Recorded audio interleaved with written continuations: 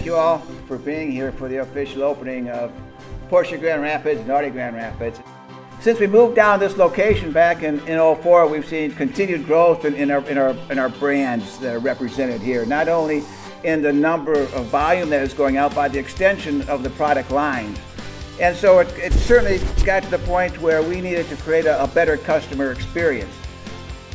I've always said there's three things in the, in the automotive business. It's uh, people, product, and passion. And uh, again, it's been a terrific year, and, and we can continue to see our partners invest in, in the Porsche brand. And again, that's where the passion comes in, and uh, we certainly appreciate that. You know, this is an exciting time to be with Audi. Uh, back in 2010, Audi sold 100,000 vehicles for the first time. It took the brand 40 years to achieve that. And here, just five years later, in 2015, Audi sold 200,000 cars, five years ahead of schedule.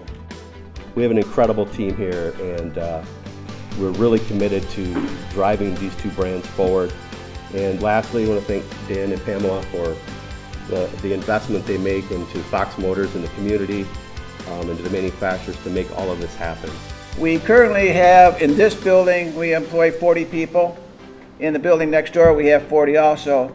Uh, when the buildings will combined, we've added 25 jobs. It's because of the great staff we have there that we're able to make this commitment because we all know it's about having the right people and we're very fortunate to have such a, such a great group here.